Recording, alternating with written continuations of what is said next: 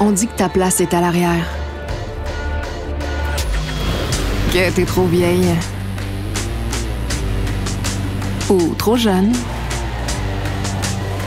Ou trop féminine. On va te traiter de tous les noms. Te dire que t'exagères. Que t'es pas capable. Que c'est une affaire de gars. Pas vrai? On dit qu'une femme, ça prend pas le guidon. Mais nous, on dira, regardez-nous bien aller.